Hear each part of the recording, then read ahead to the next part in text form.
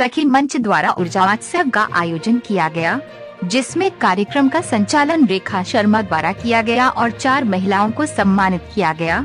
जिसमें अनु रघुवंशी अनीता अवस्थी अर्चना मिश्रा ऋतु रघुवंशी फूलों की होली खेली होली का त्योहार भी मनाया गया इस कार्यक्रम में मंच की ऊर्जा अग्रवाल सरोज अग्रवाल वंदना शारदा अनीता अवस्थी अनीता खंडेलवाल अर्चना मिश्रा लता अग्रवाल बिंदा अग्रवाल मनोरमा मालवीय आभा मालवीय शोभा पाटनी सहित मंच की महिलाओं ने हर्षोल्लास से भाग लिया